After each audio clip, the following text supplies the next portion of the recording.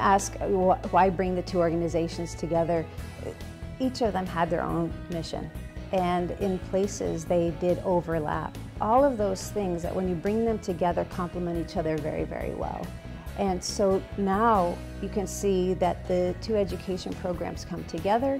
You can see a single voice from advocacy and at the same time being able to deliver on the need of those members. Uh, all the while, we continue all the great and wonderful things of both organizations, but now under one roof.